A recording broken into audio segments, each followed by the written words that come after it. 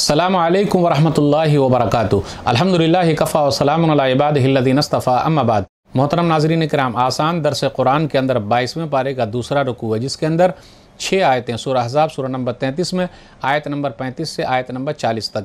अउज़बिल्लिमिनशैतानरजीम बसमीम इन्नमसलमिन वलमसलिमात वलमिन वलमिनत वलक़ानतीन वलक़ानतात वसादक़ीन वसादक़ात वसाबरीन वसाबरात वलख़ाशिन वलख़ाशियात वलमतसद्दीन वलमतसद्दक़ात वसाइमीन वसाइमात वलहाफ़िज़ीन फ़ुरूज वलहाफ़ात वज़ाकरीन अल्लाह कसीरम वज़ाकरात आदल्लाफ़रत व अजर नाज़ीमा बेशक मुसलमान मर्द और मुसलमान औरतें मोमिन मर्द और मोमिन औरतें इबादत करने वाले मर्द और इबादत करने वाली औरतें सच बोलने वाले मर्द और सच बोलने वाली औरतें सबर करने वाले मर्द और सबर करने वाली औरतें आजजी करने वाले मर्द और आजजी करने वाली औरतें सदका करने वाले मर्द और सदका करने वाली औरतें रोज़ादार मर्द और रोज़ादार औरतें अपनी शर्मगाहों की हिफाजत करने वाले मर्द और हिफाजत करने वाली औरतें और अल्लाह को बहुत ज़्यादा याद करने वाले मर्द और याद करने वाली औरतें इन सब के लिए अल्लाह ने बख्शिश गुनाहों की माफ़ी और बहुत बड़ा बदला तैयार कर रखा है। वमाकान अलमिन व रसूल वमी व रसूल और याद रखो किसी मोमिन, मर्द औरत को अल्लाह उसके रसूल वसम के फ़ैसले के बाद अपने किसी मामले का कोई इख्तियार बाकी नहीं रहता।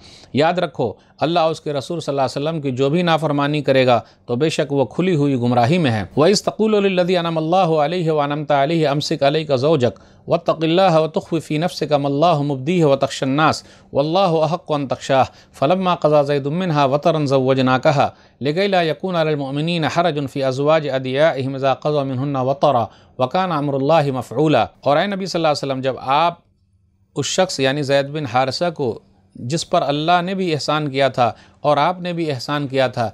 ये कह रहे थे कि तुम अपनी बीवी जैनब बिन जहश को अपने निकाह में रहने दो और अल्लाह से डरते रहो। तो उस वक्त आप सल्लल्लाहु अलैहि वसल्लम ऐसी बात अपने दिल में छुपा रहे थे जिसे अल्लाह ज़ाहिर करना चाहता था। आप सल्लल्लाहु अलैहि वसल्लम लोगों से डर रहे थे जबकि अल्लाह इस बात का ज़्यादा हकदार है कि आप उससे डरें।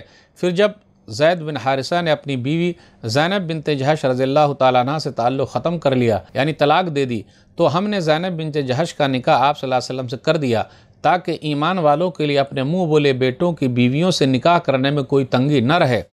जबकि वो मुँह बोले बेटों ने अपनी बीवियों से ताल्लुक़ ख़त्म कर लिया हो तलाक दे दी हो और अल्लाह के हुक्म पर अमल होना ही था। माकान नबी मिन हरज फ़ीमा फ़रज़ल्ला सुन्नत फ़िल्लिन खलो मिन कबल वकान अमरल्ला कदरम मकदूरा। नबी सल्लल्लाहु अलैहि वसल्लम के लिए इस काम में कोई हरज नहीं, जिसे अल्लाह ने उनके लिए ज़रूरी किया है। यही अल्लाह की सुन्नत है जो गुज़रे हुए नबियों में जारी रही है, और अल्लाह का हुक्म एक तय किया हुआ फ़ैसला है नपातुला फ़ैसला है। अल्लदीन युबल्लून रसालतिल्ला व यक्षौन वला यक्षौन अहदन वकफ़ा बिल्ला हसीबा वो अम्बिया वसलाम जो अल्लाह के पैगाम लोगों तक पहुँचाते रहे हैं और अल्लाह के सिवा किसी से नहीं डरे और हिसाब लेने के लिए अल्लाह ही काफ़ी है माकान महमद नबा अहद मिर्जालकुम वला के रसूल अल्लाह व ख़ातमनबीन वकान अल्लाह बिकुल शैन अलीमा मोहम्मद वसल्लम तुम्हारे मर्दों में से किसी के बाप नहीं है लेकिन वह अल्लाह के रसूल हैं और आखिरी नबी हैं नबियों के लिए मुहर है, क़्यामत तक अब कोई नबी आने वाला नहीं है। और अल्लाह हर चीज़ को खूब अच्छी तरह जानता है। नाजरीन इकराम, आसान दरस कुरान के अंदर बाईसवें पारे का दूसरा रुकू है, जिसके अंदर छः आयतें हैं। सूरह हज़ाब सूरह नंबर तैंतीस में आयत नंबर पैंतीस से आयत नंबर चालीस तक। आयत नंबर पैंतीस पर गौर कीजिए, इसके अंदर दस खूबियों का ज़िक्र है। उम अमारा अंसारिया नबी सल्लल्लाहु अलैहि वसल्लम के पास आई रज़ी अल्लाह तहा और वो कहने लगी, माँ अराकुल्ल शैन इल्लाजाल वमा अरा अन्नसा युस्कर नबिशन फ़नज़लत हाज़िल आया इनमसलमिन वलमसलिमात शान नज़ुल है उम अमारा अंसारिया रज़ी अल्लाह तह नबी वसल्लम के पास आई और कहने लगी कि मर्दों का ही कुरान में ज़िक्र है हम औरतों का तो है ही नहीं तो अल्लाह ताला ने यह आयत उतारी सुरह हज़ाब सुर नंबर तैंतीस आयत नंबर पैंतीस सुरन तिरमजी किताब तफसर कुरान हदीस number three two one one सही हदीस है ये तो ये दस चीज़ों का इसके अंदर ज़िक्र है गौर कीजिए वलहाफ़ीन फ़रूज हूँ वलहाफ़ात आखिर में इस आयत के अंदर जो दो चीज़ों का ज़िक्र है, उसके अंदर है अपनी शर्मगाहों की हिफाजत करने वाले मर्द। लेकिन जब औरत का ज़िक्र आया तो लफ्ज़ शर्मगा अल्लाह ने हटा दिया। तो ये उनकी इज़्ज़त आबरू के लिए। फिर इसी तरह, वज़ाकिरीन अल्लाह कसीरम वज़ाकरात। और अल्लाह को बहुत ज़्यादा याद करने वाले मर्द। लेकिन जब औरत की बारी आई तो कहा, वह जाकरात, याद करने वाली औरतें। ज़्यादा का लफ्ज़ अल्लाह ने हटा दिया। तो ख़वातीन के लिए, क्योंकि और भी बड़े मसाइल हैं, इसलिए अल्लाह ताला के ज़िक्र में अगर थोड़ा बहुत कमी भी हो गई तो कोई हरज की बात नहीं। पंज वक्ता नमाजी तो है, रमज़ान के रोज़े तो रखती है, अगर नवाफिल का अहतमाम ना हो तो इन कोई हरज की बात नहीं है। लेकिन अल्लाह ताला ने हर एक से जन्नत का वादा कर रखा है। आगे गौर कीजिए, आयत नंबर थर्टी सिक्स में कि किसी मोमिन मर्द और औरत के लिए इख्तियार नहीं है कि अगर नबी सल्लल्लाहु अलैहि वसल्लम ने फ़ैसला कर दिया तो वो उसको ना माने। किसी को भी कोई इख्तियार नहीं है। क्योंकि जो कोई अल्लाह उसके रसूल सल्लल्लाहु अलैहि वसल्लम की नाफरमानी करेगा तो वो खुली हुई गुमराही में है। असल में यह आयत उतरी है जैनब बिनत जहश रज़ी अल्लाह तह के बारे में। नबी सल्लल्लाहु अलैहि वसल्लम की फुफीज़ात बहन है और नबी सल्लल्लाहु अलैहि वसल्लम ने उनकी शादी कराई जैद बिन हारिसा रज़ी अल्लाह तु से। जो कि एक ग़ुलाम थे, लेकिन कहा यह फ़ैसला है। तो ये ख़ानदान नहीं देखा गया। दीनदारी देखी गई।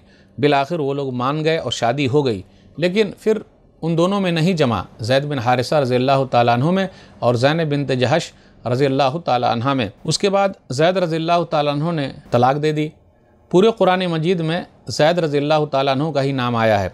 सुराजाब सुर नंबर तैंतीस, आयत नंबर थर्टी सेवन में, फलम्मा कज़ा जईद उमिनहा वतरन जवजना कहा लेकिन यकून अलमिन हरज, कि जब जैद रज़ी तु ने अपनी बीवी को तलाक दे दी तो हमने उसका निकाह आपसे करा दिया। यानी जैनब बिनत जहश का निकाह रज़ी अल्लाह तह नबी वसल्लम, हमने आपसे करा दिया। ताकि मोमिनों पर कोई हरज न रहे। नबी सल्लल्लाहु अलैहि वसल्लम ने कई शादियाँ की है। उसमें से एक रीज़न ये है, पुराने ज़माने में ये था, लय पालक।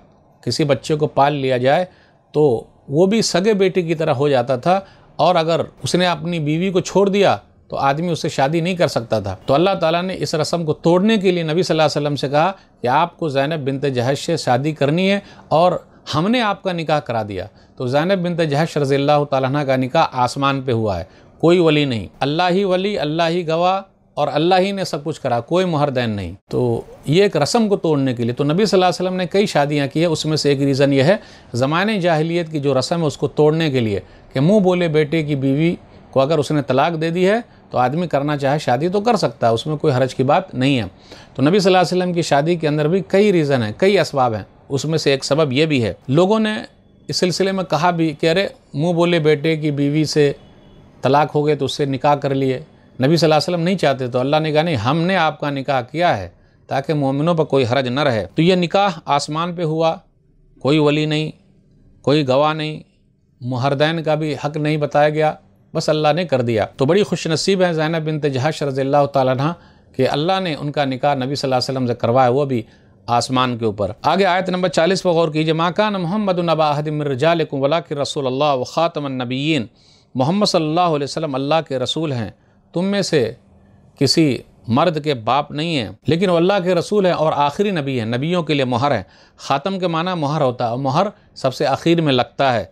नबूत और रसालत का ख़ात्मा हो गया, अब कोई नबी आने वाला नहीं है। एक हदीस पर गौर कीजिए सुरन तिरमजी किताबुलफ़ितन हदीस number two two one nine नबी सल्लल्लाहु अलैहि वसल्लम ने फरमाया वन नहो से यकून फ़ी उम्मत सलासून कद्दाबून, कुल्लुहुम यज़म अन्नहु नबी, वाना ख़ातमनबी नबी आबादी मेरी उम्मत में तीस झूठे पैदा होंगे। दावा करेंगे कि वो नबी हैं, लेकिन मैं नबियों के लिए महर हूँ, आखिरी नबी हूँ। ला नबी आबादी, मेरे बाद कोई नबी आने वाला नहीं है। जो नबूत का दावा करता है, वो कज्जाब है, झूठा है, दज्जाल है, फ्रेब दे रहा है, लोगों को धोखे में डाल रहा है। पूरी उम्मत का इसके ऊपर इजमा है। क़्यामत के करीब ईसा सलाम आसमान से उतरेंगे तो नबी वसल्लम की उम्मती के तौर पर उतरेंगे। नबी के तौर पर नहीं उतरेंगे, वो उम्मती बन कर आएँगे। तो इसलिए उनका नज़ूल जो है, आसमान से उतरना ये अकीद ख़त्म नबूत के मुनाफी नहीं है, बल्कि वो नबी सल्लल्लाहु की शरीयत पर ही अमल करेंगे और लोगों को बताएँगे। तो नाजरीन इकराम, आज के दर से बस इतना ही। अल्लाह से दुआ है कि अल्लाह ताला हम लोग कुरान करीम को पढ़ने, पढ़ाने, समझने, समझाने, अमल करने और लोगों तक पहुँचाने की तोफ़ी दामीन वसलम वरहमल वर्का